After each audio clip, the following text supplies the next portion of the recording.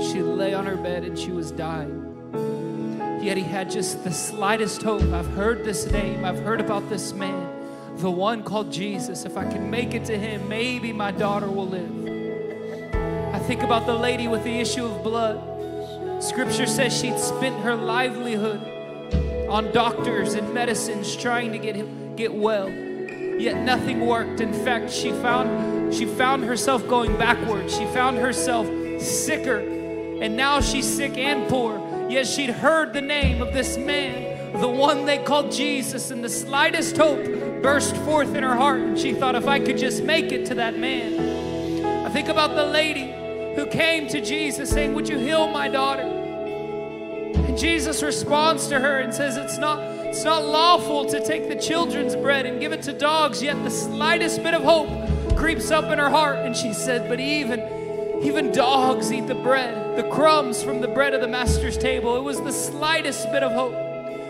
I think about when Lazarus was dying and Mary and Martha thought, what if we call on Jesus in this moment? What are we going to do? He's dying. The slightest bit of hope creeped up in their heart. And time after time after time, story after story, age after age, year after year, family after family, time after time. Nobody has been put to shame who's hoped in the Lord. Not one has been put to shame whose hope was in the Lord. Oh, not one time has He not come through.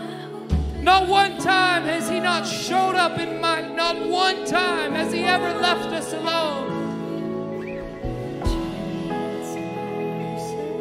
Jesus, you really are the firm foundation. You really are the anchor for our soul. Lord, and we just declare we're all in. We're all in. All our chips are in this basket. They're all in you. The one whom we hope in. You're the one whom we hope in.